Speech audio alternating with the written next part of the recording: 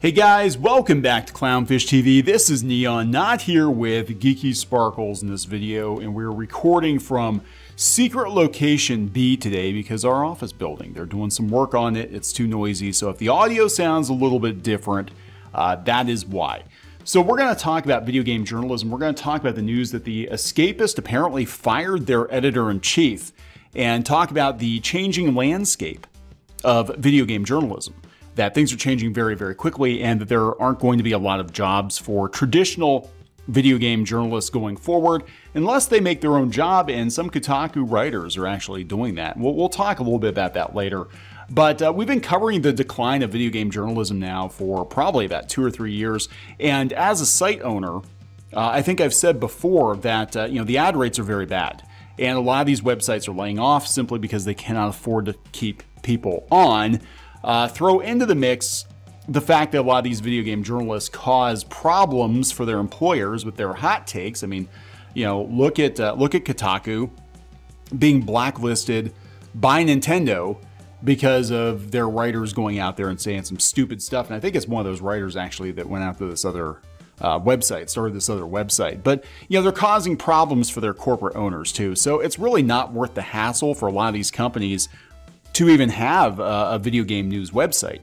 You know, especially with the problems and the declining revenue, and uh, you know, you can just give your game to some YouTuber or TikToker or Twitch streamer and get just as much, if not more, mileage uh, out of doing that than giving it to some professional video game reviewer on one of these uh, websites. But we're going to talk about this. Before we get into it any further, please subscribe for more pop culture, news, views, and rants, guys. Go out to Shop Clownfish shopclownfish.com. That's shopclownfish.com. Link in the description. And back at Shadowbinders Volume 3, hardcover graphic novel. This is our first new Shadowbinders material in about 10 years. There are limited copies of books 1 and 2 left. Uh, for those of you who haven't purchased those already, we've actually had them for sale a couple times, but uh, some of you missed them. So yeah, you can you can buy those as well. Um, let's talk about this. This is coming from uh, Film Stories. The escapist editor in chief fired, prompting multiple staff resignations. Video game news outlet The Escapist has lost several staff, including Ben Yahtzee Croshaw as its editor in chief, and he claims he was fired by the bosses. Uh, one of the internet's most established video game outlets, The Escapist, faces a major shakeup as multiple members of staff have announced their departure. The walkouts were sparked by the sudden ousting of editor in chief Nick Calandra, who on the 6th of November wrote on Twitter, I was fired from the escapist today. I have declined my severance pay and will not be signing an NDA. So apparently it was a pretty acrimonious split. I wonder if it has something to do with AI. A lot of this has has something to do with uh, AI. In a follow-up post, Calandra added, I was let go for not achieving goals that were never properly set out for us and a lack of understanding of our audience and the team that built that audience. Uh, I think what they do in a lot of cases is look, these companies look at the numbers and they're probably like, hey, we need to make X number of dollars per month. And in this economy right now, with the uh, advertising being the way it is, and it's not good, yeah, it's gonna be very hard for a lot of these people to to reach those benchmarks. But then that gives you an out. Like, well, I told you you had to make two hundred thousand dollars last month, and you made two. So we got to get rid of you. Sorry, see you, Nick.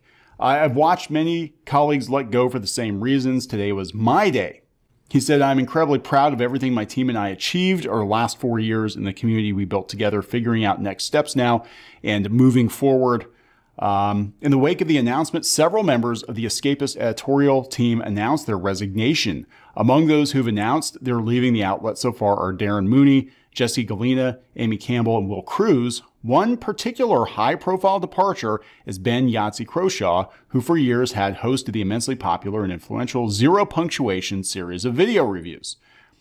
Today, I formally resigned from The Escapist and Gamurs, the company that owns the outlet. And they own a lot of these outlets, by the way, Gamurs Group. Uh, they own the Mary Sue, too, I think. They own the Mary Sue? I think they might. Uh, Croshaw wrote in his own Twitter X announcement I don't have the rights to zero punctuation, but whatever happens, you'll be hearing my voice again soon in a new place. So the loss of so many key staff will be a major blow for The Escapist, which has been going since 2005. It hints at a potentially unhappy relationship with Gamurs Group, who purchased the outlet in 2022.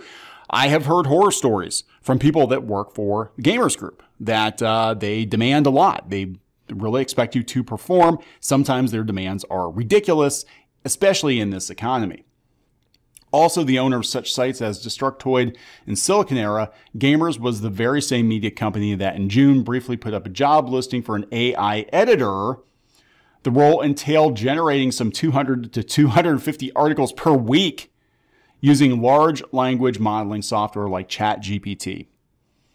As for uh, Calandra and the rest of the uh, former Escapist staff, there are signs they're about to regroup elsewhere on the Escapist Discord server uh, they wrote, Tomorrow we'll, you'll know more about what our plans are for the future, along with a live stream on Wednesday at 11 uh, Central Time. Our plans to go independent.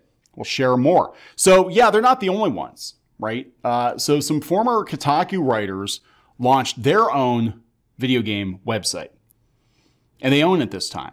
So, they've started uh, Aftermath, a new website about video games and culture, probably politics. I mean, as long as it's just like video game focused, I don't have a problem with that. And if people's hot takes creep in every once in a while, I don't really have a problem with that. What I have a problem with is uh, video game journalists lecturing gamers. And I have a problem with tourists. I have a problem with people who uh, obviously don't play games. They don't understand gaming culture. They don't understand gaming history. And they're going to come in and lecture you, uh, the longtime gamer, on what's what. And usually it's more political than it is, uh, you know, about gameplay or graphics or, you know, industry stuff or whatever. So this is coming from The Verge. Four ex Kotaku staffers are launching a new subscriber subscriber based video game news and culture publication called Aftermath. The website is live. It's co-owned by Nathan Grayson, uh, Jackson, Riley MacLeod, and Luke Plunkett. Luke Plunkett, I think, wasn't he the guy that got Kotaku blacklisted by Nintendo? I think he might have been. All Kotaku mainstays who helped shape its incisive voice before leaving the site for one reason or another. It's called getting fired. Oh, oh, no, no. Okay, this sounds like it's going to be exactly what you think. Aftermath is about the internet and everything that comes after, Jackson says in a recent interview. Uh, Jackson elaborates, I'm so interested in taking Aftermath and using the site to discuss the way that we live now and the way that capitalism and the internet have really intertwined and changed a lot of the ways that we find self expression, the way that media is made, and the way that we consume it. Uh, Grayson says, I think video games are at the forefront of that. Plunkett says, the group wants to bring a combination of skepticism. So much of video games is filtered through PR marketing bullshit. That actually is true. Uh, but he's probably talking about Nintendo but also speak plainly about issues, games, and communities. The hope is that Aftermath is interesting enough that readers bookmark it and visit directly a few times a day to see what's new, uh, whether that's things like reported articles, reviews, or even 500 word posts about stuff the staff sees they think is stupid. Um, we really reverse the reverse engineered the idea of blogging. Uh, it's been a devastating year for games journalism, The Verge notes. Uh, the Washington Post shut down Launcher, Vice shut down Waypoint. Uh, there were layoffs and departures at Inverse, Fanbyte, GameSpot, Giant Bomb, of course, Gamurs Group, and all of that. And uh, Plunkett in his July goodbye post wondered if he should have left Kotaku sooner. Maybe. Maybe he should have. So, like, look, the whole thing's imploding. This this whole advertising supported uh, you know, hot take gaming journo blog bullshit that's been going on for the last 10 or 15 years. A lot of it was artificially propped up by venture capital.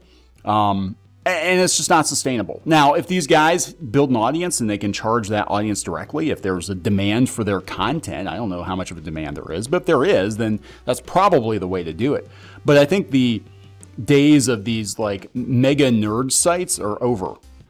So I think we really are looking at the end of video game journalism as we've known it. I think we'll probably go back to you know individuals who are gaming fans uh, building audiences whether that's you know podcasts or uh, videos or you know through a subscription based blog but as far as like having another ign pop up i don't think it's ever going to happen again you know, having another Kotaku or another Polygon, I don't think that's going to happen again. I don't think it's sustainable. Gamers are incredibly skeptical. uh, these days, and I think it's going to be up to individual influencers and individual voices uh, to to give their opinions and you know connect with other gamers in that way. Uh, I think we are past peak nerd culture. And we did another video on this, uh, just in general, whether it's video games or uh, you know, tabletop games or comic books or you know the Funko Pop scene or any of this like celebrity nerd crap that kind of went hand in hand with these big nerd mega sites. It's over. You know, it's it's definitely over. And if it's over for video game news sites, it's definitely over for comic book news sites, you know, and other smaller sites because it's just not sustainable. It just isn't. Everything changed this year. Everything changed this year. So I'm going to wrap it up. Please subscribe for more pop culture news, views, and rants, guys. We'll talk later.